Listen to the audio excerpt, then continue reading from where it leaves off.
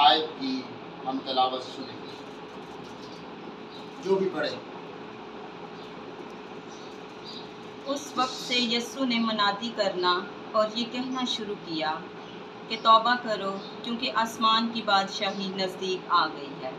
खुदावन का शुक्र हो उसकी ज़िंदा पाक और मुकद्दस कलाम की आमीन। आज हम खुदावन की ज़िंदा और ज़िंदगी बख्श कलाम में से सीखेंगे। तोबा के बारे में आज हम सीखेंगे। इसके बारे में सीखेंगे? तौबा। आज का हमारा अनुमान क्या है? मजमून क्या है? तोबा। क्या है जी आज का हमारा मजमून तोबा। आज हम तोबा के बारे में चंद लम्हे सीखने की कोशिश करेंगे। अक्सर हम सड़क पर जाते हुए अपना रास्ता भूल जाते हैं। और जब हमें याद आता है कि हम अपना रास्ते से, अपने रास्ते से भटक गए हैं तो हमें, हम आने वाले मोड़ से यू टर्न लेते हैं। क्या लेते हैं जी? यू टर्न लेते हैं। तो जहाँ हमें जाना होता है, वहाँ जल्द पहुँच जाते हैं। लफज तोबा कलाम मुकदस में सौ से ज़्यादा मरतबा इस्तेमाल हुआ है। और इसके मैनी है, पछताना बाज आना रजूल आना कलाम मुकदस के नुक्ता नज़र से इसका मतलब है फिरना, वापस आना, यानी गुनाह की तरफ़ से हटकर खुदा की तरफ़ लौट आना। इसका मतलब है कि इंसान अपने सारे दिल, अपनी सारी जान और अपनी सारी अकल से गुनाहों को छोड़कर ज़िंदा खुदा की तरफ़ रजूल आज जो लोग अपने सारे दिल, अपनी सारी जान और अपनी सारी अकल से खुदावंद यस्सु मसीह की तरफ़ रजूल आते हैं, खुदावंद यस्सु मसीह आज भी उनकी जिंदगियों को बहाल कर देता है। यस्सु आज भी उनको शिफा देता है। यस्सु आज भी उन्हें अपने गले से लगा लेता है। बिल्कुल उसी तरह, जिस तरह डाकू, सलीब पर चढ़े हुए डाकू, के दरमियान खुदावंद यीशु मसीह थे, और एक तंज करता है। और दूसरा क्या कहता है? कि ए यीशु जब तू अपनी बादशाही में जाए तो मुझे भी याद। याद करना। खुदावंद यीशु मसीह ने उससे क्या कहा था? मैं तुझसे सच कहता हूँ कि तू आज ही मेरे साथ फिरदौस में होगा।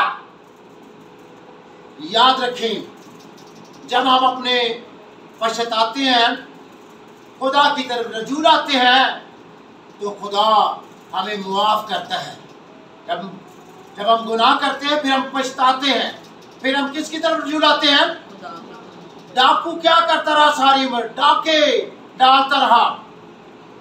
जब उसने देखा कि खुदावंद यीशु मसीह भी हमारे साथ सलीब पर एक तंज कर रहा है, दूसरा कह रहा है कि है यीशु, जब तू अपनी बादशाही में जाए तो मुझे भी याद करना।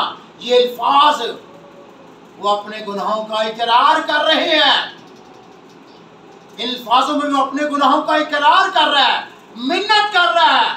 मालकों के मालिक से, खालकों के खालिक से मिन्नत कर रहा है। शहनशाहों के शहनशाह से मिन्नत कर रहा है। या यीशु, जब तू अपनी बादशाह में जाए तो मुझे भी याद करना।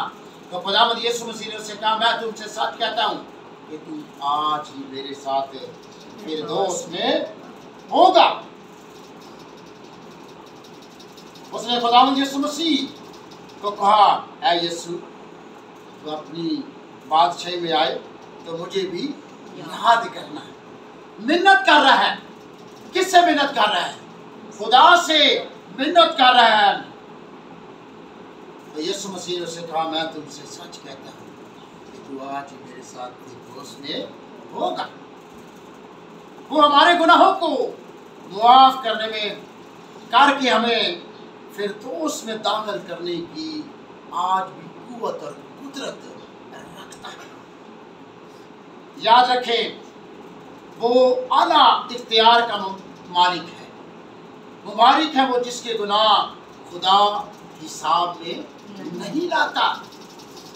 मसीह में मेरे अजीजों, मेरे बहनों, मेरे भाइयों, तोबा, मुआफ़ी और बहाली सिर्फ़ और सिर्फ़ खुदा के कलाम और खुदा के बेटे यीशु में हमें मिलती है।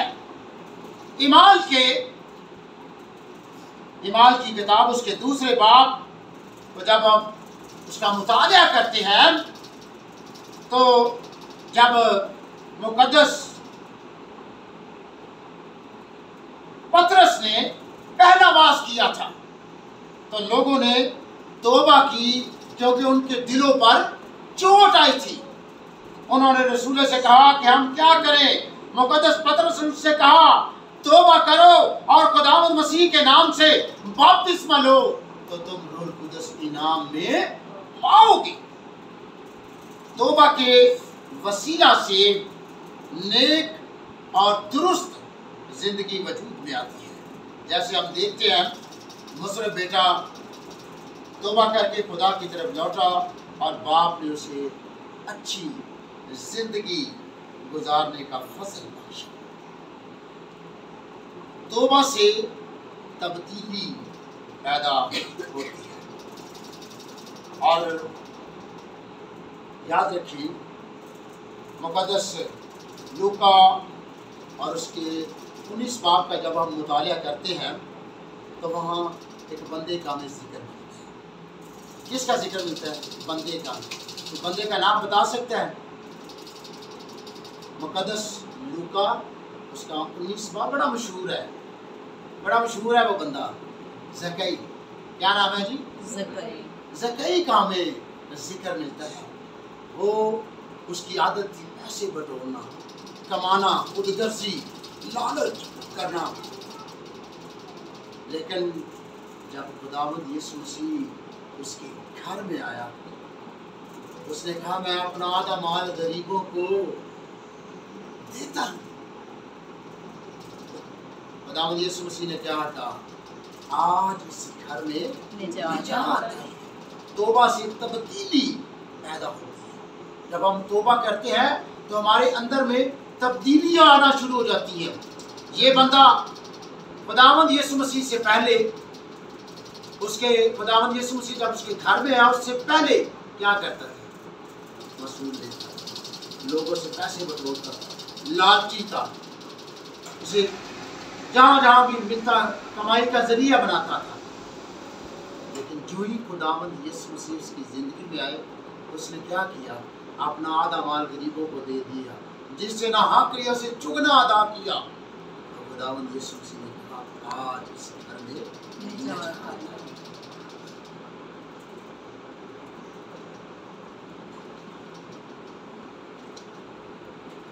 तोबा से, खुदा के नज़दीक और गुनाह से दूर हम जाते हैं। जब हम तोबा करते हैं तो खुदा के नज़दीक आ जाते हैं। और गुनाह से क्या करते हैं? दूर हो जाते हैं। जबूर, इकवंजा में मुकदस दाऊद का गुनाह नज़र आता है। और बड़ी सफ़ाई से अपने गुनाह का इकरार करता है। वो कहता है कि मेरा गुनाह हमेशा मेरे सामने है। वो ये भी कहता है कि मैं अपनी खताओं को मानता हूँ। गुनाहों के इकरार से मुराद है कि इंसान अपने गुनाहों को माने और उनका बरबला इकरार करे और उनकी मुआफ़ी मांगे। गुनाह नाम लेकर मानना ज़रूरी है। जिस तरह हमारे सामने दाऊद की एक वाजे मसाल है वो फरमाता है कि ऐ मेरे खुदा मुझे खून के जुर्म से छुड़ा नाम लेकर वो पुकारता है खुदा को बताता है कि ऐ खुदा मुझे किस जुर्म से निकाल? खून के जुर्म से। बचा। कलाम मुकदस में लिखा है कि अगर हम अपने गुनाहों का इकरार करें तो वो हमारे गुनाहों के मुआफ करने और सारी नाराज़गी से पार करने में सच्चा और आदल है। तोबा से नई ज़िंदगी वजूद में आती है। तोबा से नई ज़िंदगी वजूद में आती है। जब हम तोबा करते हैं, हमारे अंदर तब्दीली पैदा हो जाती है। जब हम तोबा करते हैं, हम खुदा के नज़दीक आ जाते हैं। जब हम तोबा करते हैं, गुनाह से दूर हट जाते हैं। जब हम तोबा करते हैं तो हमारे अंदर नई ज़िंदगी वजूद में आती है। बड़ी खूबसूरत मिसाल आपके सामने रखने लगा हूँ। नैनवा के लोग, इसकी बड़ी बेहतरीन मिसाल है।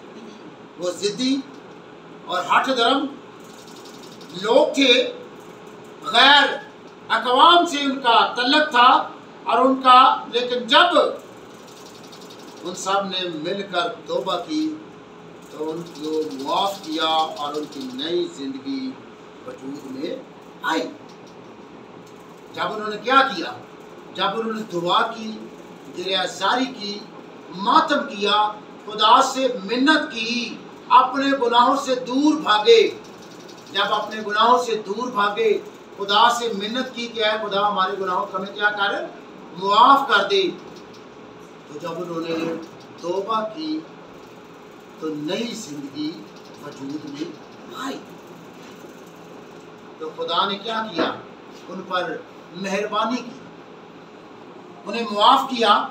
खुदा ने उन पर मेहरबानी की, उन्हें मुआफ किया, बल्कि उनकी उम्र के 212 साल बढ़ा दी।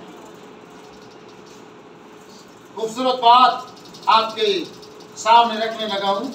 नेकोदेमस और पड़ोसी के बारे में इमाल नौ बाप का जब हम मुताया करते हैं तो यहाँ पर हमें पता चलता है कि तोबा से हम नए मखलूक पर जाते हैं।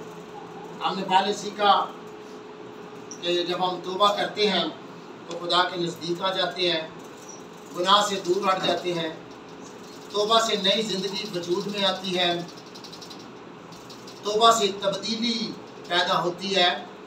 और अभी जो बात हम सीखने लगे हैं, तोबा से हम नए मखलूक बन जाते हैं। हमारे अंदर से पुरानी इंसानियत ख़त्म हो जाती है और नए सिरे से पैदा होकर मसीह में ज़िंदगी गुजारती है। खुदा यसु मसीह ने शरा के, आलम नेकोदीमस से कहा, जब तक कोई शख्स नए सिरे से पैदा ना हो खुदा की बादशाह को देख नहीं। सकता। और मुकदस पालूस रसूल बुलाए जाने से पहले जिसे आज हम रसूल आज़म कहते हैं बड़े एहतराम के साथ उनका नाम लिया जाता है।